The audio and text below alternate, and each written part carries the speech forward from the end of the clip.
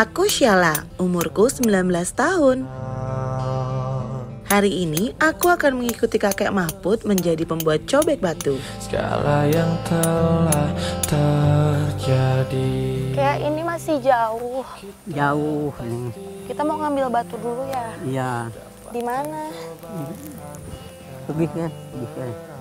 Dulu gue paling itu. Emang nggak pakai kendaraan? Enggak. Setiap harinya kakek harus menempuh jalan yang sangat jauh untuk mencari batu yang akan dibuat menjadi cobek. Ini harus diapain pak? Digali. Digini-giniin. Hmm. Kayak gini kek.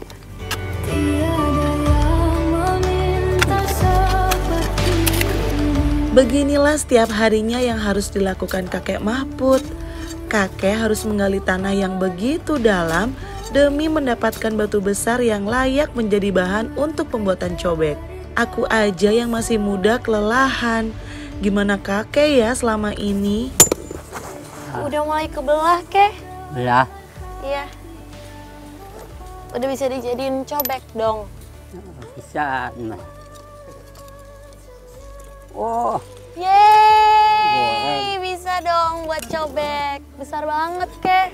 yuk kita bawa atas nih. Ya udah, aku bantuin ya kek. Berat tapi neng. Nggak apa-apa Berat. kek. Oke aja bisa, masa aku enggak? Ah, enggak berat.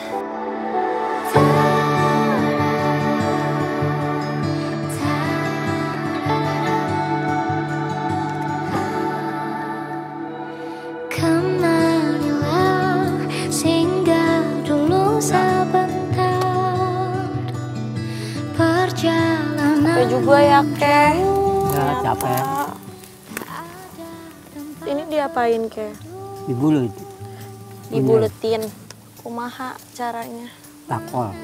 Pakai ini. Iya, pakai ini. Kakek udah biasa kayak gini setiap hari ya. Iya. Duh. Sini kek aku bantuin deh. Aku cobain. Ah, boleh? Untuk membuat cobek ternyata tidak semudah yang dibayangkan. Jika tidak hati-hati bisa saja terkena batu dan melukai kita. Aduh, sakit banget. Kenapa mata aku kek? Hati-hati nih, hati-hati. Kakek aja lah lanjutkan. Biarin. Di matamu masih tersimpan Setiap harinya kakek bekerja keras melawan lelah hanya untuk membuat cobek ini.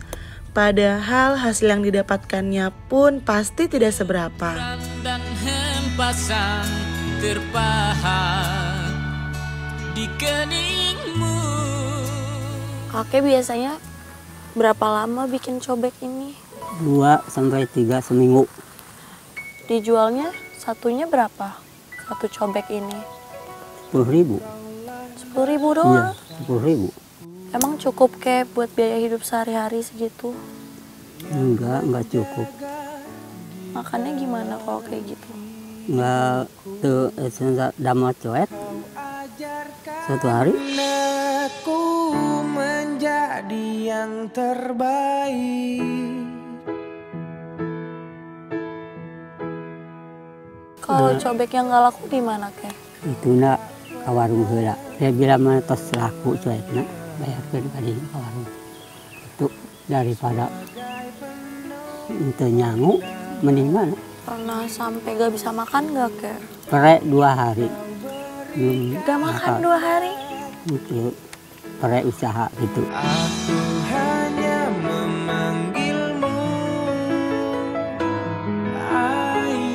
Berat banget kehidupan keluarga kakek sampai harus merasakan tidak makan selama dua hari. Anak kakek nggak bantuin kakek? Enggak, Kenapa? usaha. Semua biaya keluarga kakek buat makan dan segala macam berarti dari kakek doang dong. Kakek, kakek. Kakek udah berapa lama sih kerja kayak gini? 20 tahun. 20 tahun. Iya. Tapi kakek pernah ngerasa capek banget gitu gak sih? Capek. nya maksakeun eh capek ge. Ya udah, hari ini aku nemenin kakek, aku bantuin seharian. Terima kasih banget Neng untuk kakeknya. Sama-sama, Kek. Kalau yang di situ apa, Kek? Ini kemarin dosen beres. Ya udah, kita beresin yang itu dulu kali ya. Kali aja hari ini bisa dijual. Tak ada manusia yang terlahir sempurna. Cerita kesulitan hidup kakek dan keluarga membuatku semangat untuk membantu kakek. Semoga apa yang aku lakukan hari ini bisa membantu keluarga kakek walaupun sedikit. Ini lapar Neng? Iya, Kek. Oh, Emang kakek nggak lapar? lapar. Lu makan dulu Neng. Kakek bawa bekal. Mana sih? Oh, terus makannya pakai nasi aja? Nggak ada lauknya, Kek? Nggak ada lauknya. Biasanya yang jadi pete Neng. Oh, Di atas. gitu. Iya. Di atas mana, Kek? Ya lu, lu. Oh, ini pohon pete ya? Iya. Aku baru tahu, Kek. Ngambilnya gimana? Lajul, bantar.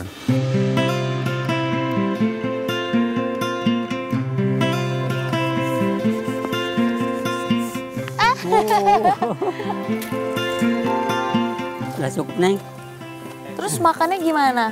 belum pisang dulu. Ya udah, aku ambilin ya. Iya. Yang ini, Kek. Iya.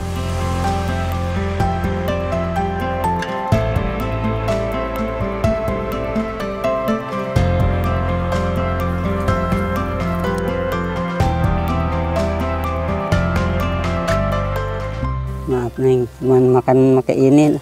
Gak apa-apa lah, Hmm. Kek. Eh, ini juga enak kok petenya. Iya.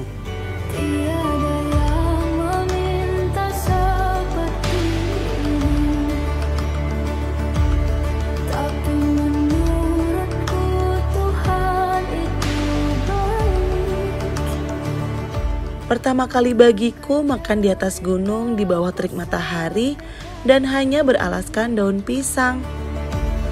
Bahkan meskipun hanya makan nasi dengan petai, kakek terlihat sangat bahagia.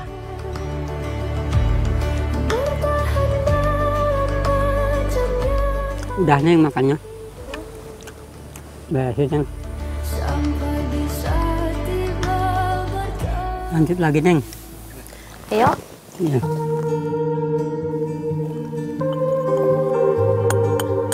Ternyata memahat batu sebesar ini untuk dibentuk menjadi cobek tidaklah mudah.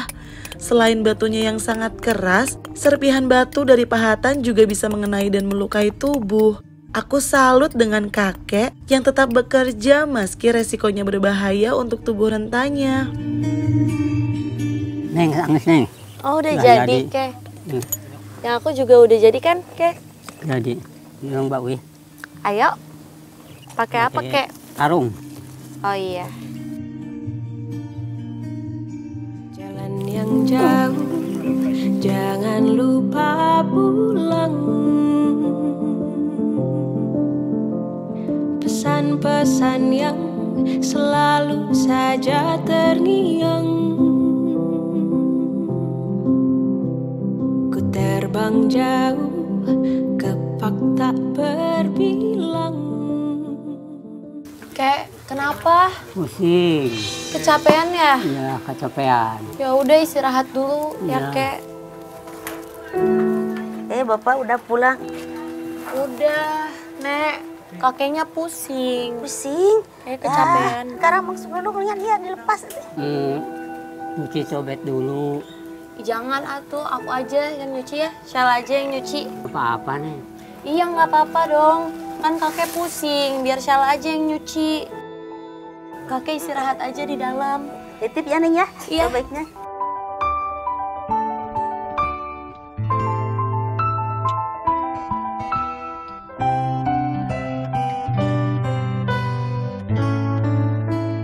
Neng ibu, beri iya ya.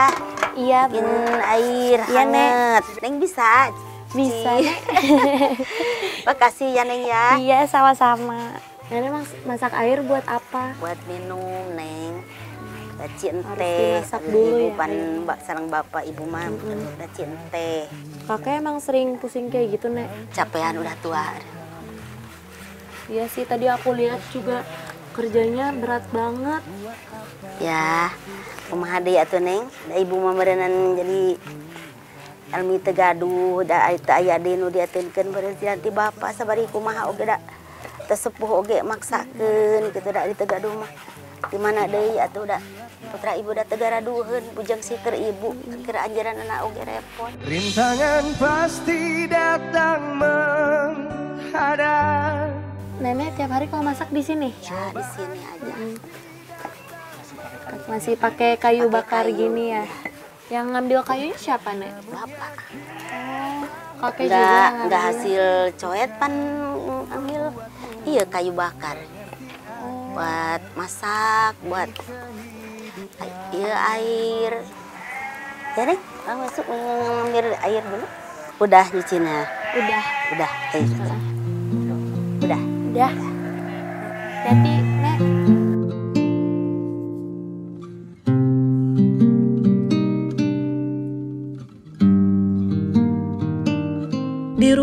Yang hanya berdinding triplek ini menjadi tempat mereka berlindung dan berbagi kasih sayang.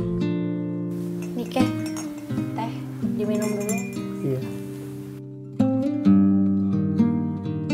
Gimana kakek udah enakan? Enak. Berarti ini nenek sama kakek sama Ella bertiga doang di sini. Empat, yang cuman Empat. anu iya meren anu bujang mah biasa meren main ke rumah. Kalau Ella ini berarti cucu ya? Ya cucu ibu. Orang tua Ella ke mana emangnya? Udah meninggal.